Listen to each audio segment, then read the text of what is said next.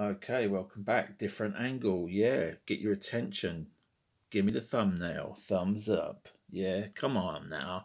Subscribe and more. Give me that thumb. I want your thumb. Give me the thumb. Yeah? okay, so welcome back. Normal services resumed. And this figure is um, an oldie.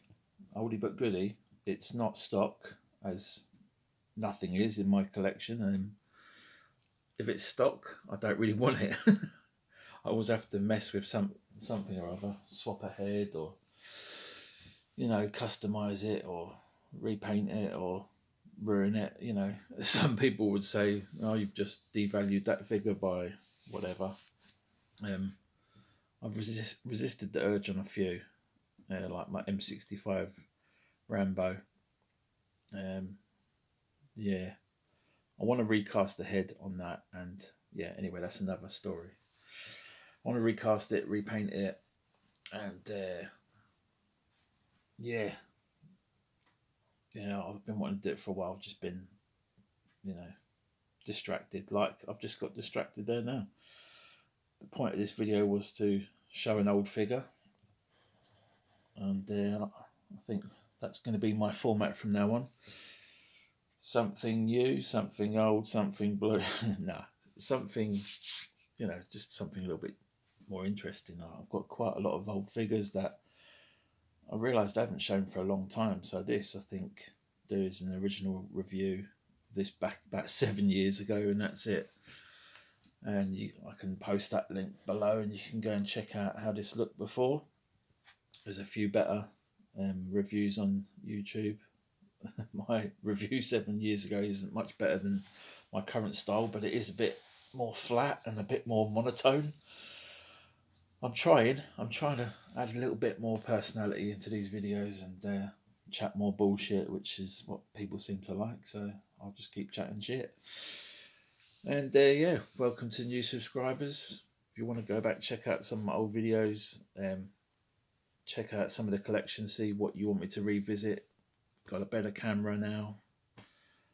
Maybe I'm a bit more articulate, a bit more confident. I don't know. Maybe I'm just just taking the ball by the horns and doing these things while I can. Seize the day and all that. Carpe diem. And because uh, you don't, you never know if you've got tomorrow. So you know, a bit depressing, I know, but live for today.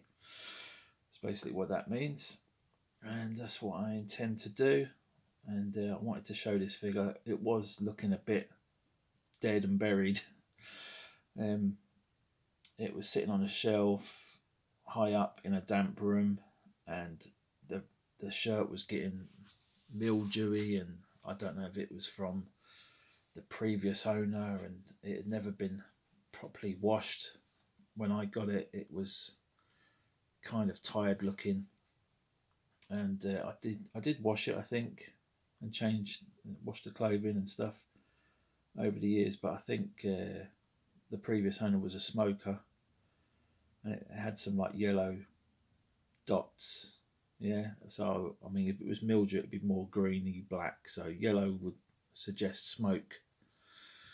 I was a smoker back in the day, but I never really smoked around my figures because they stink.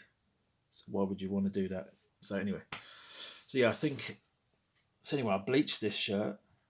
I didn't bleach the trousers, obviously, because they probably lose their colour. But the shirt, obviously being white, give it a good bleaching. Um, use some washing up powder, uh, liquid, whatever, and uh, scrubbing brush. Some of the dots were still remaining, so I went back and reapplied bleach, let it soak for a, about half an hour washed it again and it all come clean. Areas around the collar were a bit yellow. Around the cuffs had a few like yellow dots. Around the shoulders were very yellowy. So yeah, I think it was where the nicotine had settled, you know, from smoking. So another bit of advice: if you are a smoker, do not smoke around these figures because if you ever intend to sell them down the line or you want to preserve them as they are, nicotine uh, will destroy these things. Dust you can deal with. You can dust it, you can wash the clothes fine. Nicotine on anything coloured, obviously you don't want to bleach it. Whites, you get away with it, luckily, on this one. But uh, yeah, do not smoke around any things, collectibles that you want to keep because it will devalue them or make them uh, not very desirable anyway. So yeah, this one, as I say, is an old figure. I can't remember exactly when it was uh, produced by Sideshow, but I did swap the body. This figure did have a um, the neck did have a neck on the head, which I removed rather rough, rather crudely, as you can see. So if I do recast this head, whoops, which I plan to do, because I do want to preserve the original paintwork on this one. I think it's you know it's got a bit of a charm of its own. The hands as well are the original hands. Um, no, what I've done is I've I've removed them from the sideshow body and then I've I've attached them to this uh, body, which is a an old wrestling body made by Jakks Pacific. Um, I've used them before in several customs. They were the only alternative back in the day if you wanted an Arnie T800 type figure. They're very limited in articulation, but unless you were going to start cutting up a Hot Toys body, or you know, not cutting it up, but you know, um, breaking the figure down, and if you could get the bodies, they were expensive, and they still are. But now there's alternatives. But back in the day, I say you, you could only get some, for something like this really cheap if you just wanted to kit bash something. And so I've used it, the Jakks body on here, which is not very articulated. It's got, you know, up and down and left, backwards and forwards, and it's got some bend in the elbows, but it's like the, you know, it's crap really. So I want to put a better body on it. Um, now Richard Kiel, the actor, he wasn't really that buff. He wasn't that sort of Arnie physique. He was broad shouldered and he was long armed and he was bigger than average men, like in his width, but he wasn't like uh, super muscly. So I want to maybe get something. Um, not sure. I might have to, you know, get a few bodies and Frankenstein them. I mean, he would have been a good Frankenstein. He's got that height, and Jaws was very much that sort of imposing villain. So this is a really good figure. I mean, the clothing and the head sculpt for the time, it was, it's got to be early 2000s, I'd say. Uh, yeah. I mean, it's got to be about 15, 20 years old, this this release from Sideshow. You can look it up. Uh, the box art is really nice. Actually, I can probably check on the stand. No? 2003. Hmm. So it is nearly 20 years old. There it goes. So yeah, 2003 and uh, my camera's had a few too many. So 2003, the outfit's, you know, what you expect for that sort of time. Um, it's quite thick material. It's got the flared trousers, which are nice. The shoes are quite nicely sculpted. No socks. Sculpted laces. Yeah, uh, zoom in, give you some shoe action. rather nice. I mean, there isn't a lot to show on this figure. It doesn't come with a hell of a lot. So the box art is really nice, but it's in the loft, so I have to go up there and dig that out at some point. But yeah, I just wanted to show it. It's um, you know, probably Big Chief will do this this character. They've done quite a few of the James Bond line. Um, this one I wanted to show because it needs a bit of updating. As you can see, the paint applications probably don't look that bad on camera, but you know they are very dated, very plasticky. It's just literally grey plastic. There's slight shine to it, but you can see the weave of the fabric is quite thick on the shirt and the, the trousers there as is you know the quality for that period things have got a lot more refined over the years the um, the materials used are more in scale for 1 6 scale back in uh, the day with sideshow. These were good. And I think the sculpt underneath all that blusher and those mad eyebrows I think there is a good sculpt in there. You see the style of painting the uh, reflections on the eyeballs it's, come, something that really dates a figure like this with the paint job the teeth are done um, quite well. The metal teeth looks pretty uh, good. So if I was going to repaint it, I'd leave them alone. I'd touch up the eyes and uh, then I'd redo the skin tone and the eyebrows are a little bit Action Man blocky or G.I. Joe if you're in America. A little bit too uh, caterpillary. Yeah, the sculpt is there. The likeness is there. Even if it is a bit caricaturish. Yeah, I should really, should have, uh, that's a bit rough, that neck. But I could, uh, if I do recast that, I, I can, um, I can fix that, I can add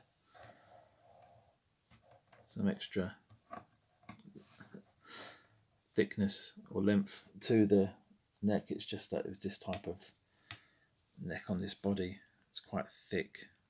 So that's why that's like that. It's a bit chipped, so I say I would like to preserve this just as a. This was the first. This and uh, Rambo, First Blood, were the first figures that I picked up um, in one six scale from a collector in. Oh, where was it now? Bexleyheath. So, and uh, I remember the guy he kept saying everything was uh, tasty. he kept saying everything was tasty. He had a he had a statue of um, of this uh, Hellboy, the blue, you know, the fish guy out of Hellboy. He had a, I think it was a sideshow statue. Oh yeah, very tasty. Yeah, yeah, yeah. He just, he was, he was a bit of a geezer. So uh, yeah, I swapped him uh, an AVP McFarlane, Alien and Scar uh, double set for the First Blood figure, which I think he wanted 100 quid for back then. And this one I picked up for 40, 40 quid, boxed, both boxed. And uh, yeah, he was definitely a smoker because the First Blood box, the inner tray was uh, very nicotine drenched or whatever, smoke smokeified, which you know never bothered me because I was a smoker, and uh, but yeah, I can understand non-smokers really hating anybody that smokes around their collection and then sells it on. I've seen it still happens today. People buying stuff and returning it stinking of smoke. It's like you know, you can't buy a figure, get it on trial for a week, smoke around it, you know, eat your dinner, get bean juice on it or whatever, and then say, no, actually, no, I don't want it, and send it back. Some people got more neck than giraffe. Anyway. I hope you've liked. Oh, I haven't even really talked about this, have I? I mean, like, it comes with a parachute the backpack, it's got the levers there and the reserve chute there. That's metal. that's plastic, but this little bit here is metal. It's spring. Um, comes with the goggles. Could show you them on his nut.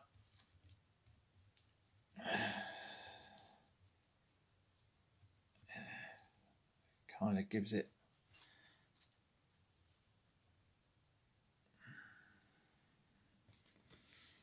if you could see it.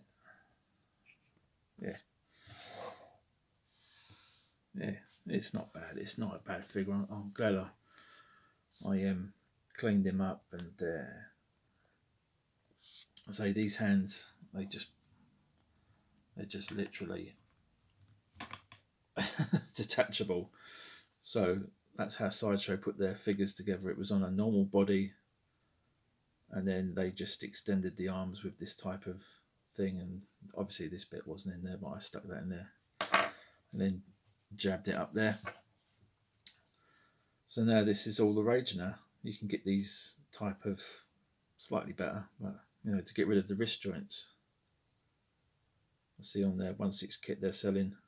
I think they're a bit longer and they uh, attach to the the figure and then you've got that option of you know seamless wrist joints, which is, I say, it's not a new idea. 2003, you know. So, what else to say about it? It comes with the little uh, altimeter, is it? For uh, checking out how high you are. and uh, or how low you are. More importantly, so I ain't got a fear of heights. I've got a fear of falling and hitting the ground. That's what I've got a fear of. Um,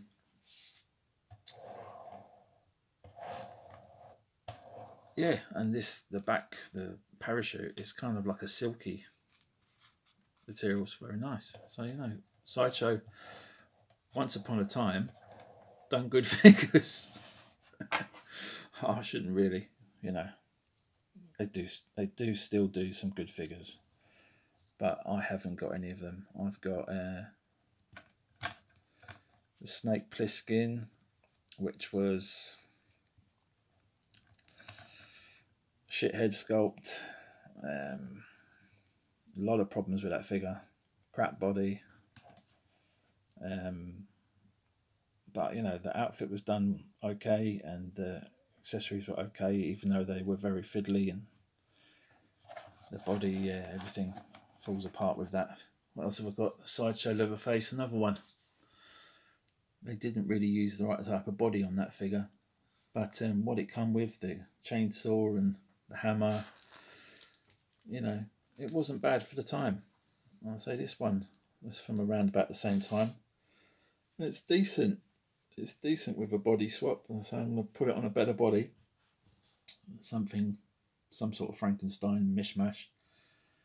Uh, recast the head, repaint the head. And uh, yeah. It's nice to have some of you know childhood memories you know he was a bad guy but he was a he was a apparently from what everyone says on online and in interviews he just seems like he seemed like a really genuine gentle giant.